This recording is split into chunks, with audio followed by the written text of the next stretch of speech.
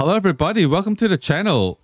So Sony recently released a statement saying that um, due to content licensing arrangements with content providers, you will no longer be able to watch any of your previously purchased Discovery content. And the content will be removed from your video library, all right? So this really got me thinking. So that means my games, my DLCs, uh, game updates, stuff like that, that could be removed from my library like whenever they want. So I think it's time to back up some of my stuff. All right. So here I am at my PlayStation 4. I think the first thing you need to do, go into its settings, okay, and turn off your internet. All right. You don't want to accidentally update your system firmware. All right. If you haven't turned on your PlayStation 4 for a long time. All right. You don't want to be on the latest firmware. And then go to system and then system information, you can see my system software is at 9.00. That's where I want to be. Anything above this version, um, I don't think you can run custom code yet. So uh, you won't be able to back up your stuff. Okay. And then go to automatic downloads. Make sure all this is ticked off. All right. You don't want to automatically update your system files. All right. Don't, don't just make sure these are all checked off, disabled. All right. This is important. Okay. And if you're like, if you're not on 9.00, if you're something below this and you want to be exactly on 9.00, all right, don't don't go to your here and don't click this. Don't go system software update. If you're connected to the internet, it'll just automatically update to the latest one. That's not what you want to do. You want to go into safe mode, all right? So how to do that? You need to, um, I might have to do this off camera all right because uh, if i go in safe mode it won't show up on my capture card. So let me turn on that. All right so here we're on my computer. You'll need to have a usb stick okay? So i have mine here you can see e drive okay? And inside you need to have the folder exactly like this. You need to have inside the root of your usb stick you need to have a ps4 folder all right and then inside the PS4 folder, you need to have an update folder. All right. Then inside here is where you put your firmware. I can't provide you this. You need to get it yourself. You can search online. It's very easy to find. Okay. So make sure you get the 9.00 firmware. All right. And then go back to the root. You can see here, I also got a file called this something PKG. This is the app that's needed to make backups. All right. I'll leave a link in the description to download. It's called Items Flow Game Manager. All right. This is um, needed to install onto your PS4. All right. So before we go any further, I'd also like to let you guys know that I've got a new cooking channel, Grown Up Cooking. I'll leave a link in the description. Please go over there and subscribe. All right. This is another passion of mine, cooking. Other than gaming, I also like cooking. So I'm planning to upload some videos about my cooking all right. So please go over there and support. And if you like this video, please like this video and subscribe to the gaming channel if you haven't already. All right, let's continue. Okay, so my camera is now on my PlayStation 4. So first, turn your PlayStation 4 off. Okay, we need to turn it off.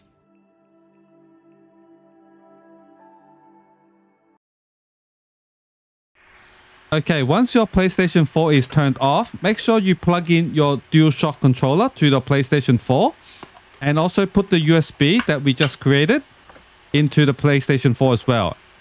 And then press and hold the power button until you hear two beeps. All right, you hear the first beep and then after seven seconds or so, you hear the second beep and then you can release the button and you'll be on safe mode. In safe mode, press the PS button, okay? And then go to update system software. Update from USB storage device. Okay, and then connect your USB, all right? It should be already connected. Press OK.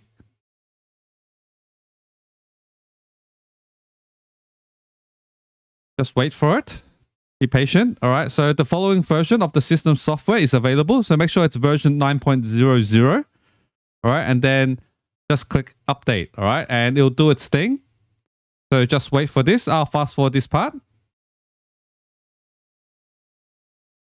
Okay, so after you have updated to 9.00, let's double check it. So go back into your PlayStation and then go to settings.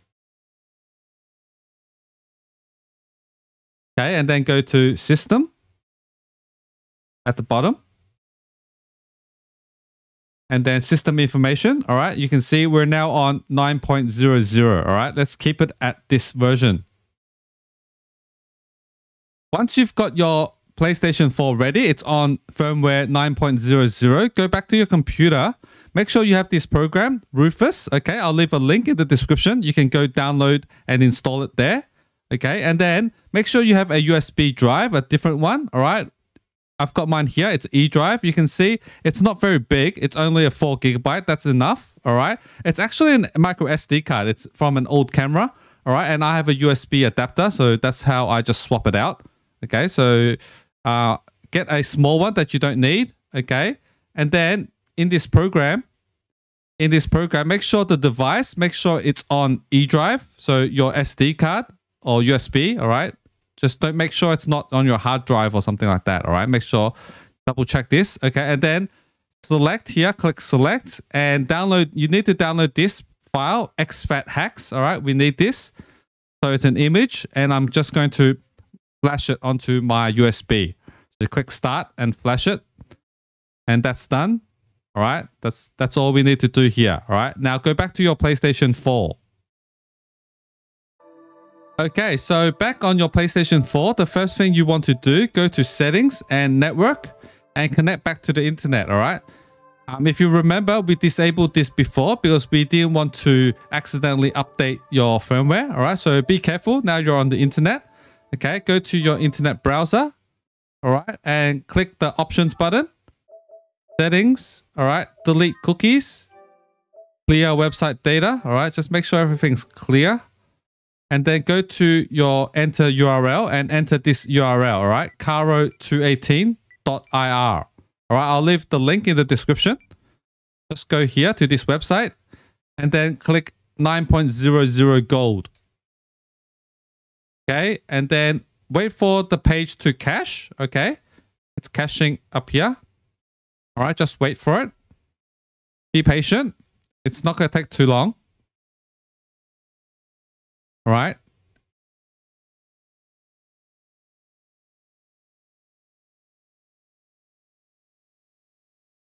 Okay, almost there. It's good that it shows you the percentage so you know it's working. I don't like it when like it looks like it's frozen. Then I kind of panic. All right, now it's done. Like a reopen page. So I'm going to press X to go back, back, and then reopen Internet Ex the Internet browser. I was going to say Internet Explorer. All right, that's how that's how like imprinted on my mind that is the Internet Explorer. Okay, so 9.00 gold.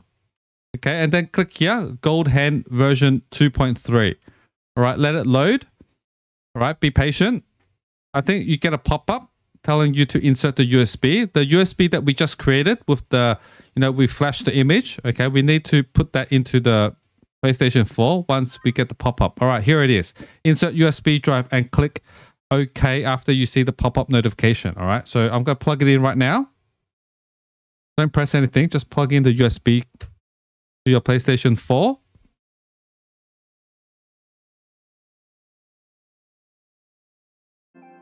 All right, so it says this USB storage devices file system is unsupported. I think you get this because um, my um, USB stick is a 3.0. I think it's better if you have a 2.0, but I don't have that. So I'm just going to press OK. And then it says jailbreak done. Please remove USB drive and click OK. So I'm going to uh, remove my USB and click OK.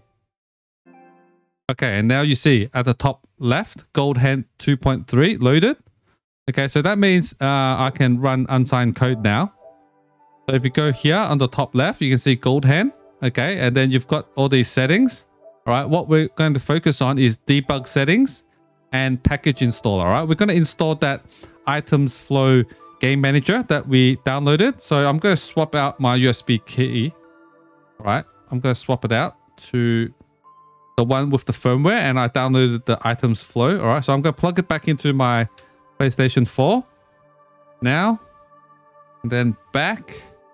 Go back to package install. Okay, now you can see it. I've got this item 0001 version 1.03 package. Okay, so I'm going to install this. Okay.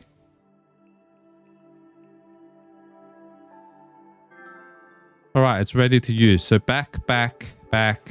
Okay. Now, right here, I've got items flow game manager. I'm just going to load into it. So this app lets me back up my games and DLCs and stuff like that. All right, there you have it. So you can see my games here. So let's say I want to back up Ghost of Tsushima. Okay, I can go here, dump. Okay, and I can select dump all, or I can just dump the base game only, patch only, remaster only, DLC only, FPKG, I don't know what that is. All right, so I, normally I just dump all, all right, if you want to back up your stuff.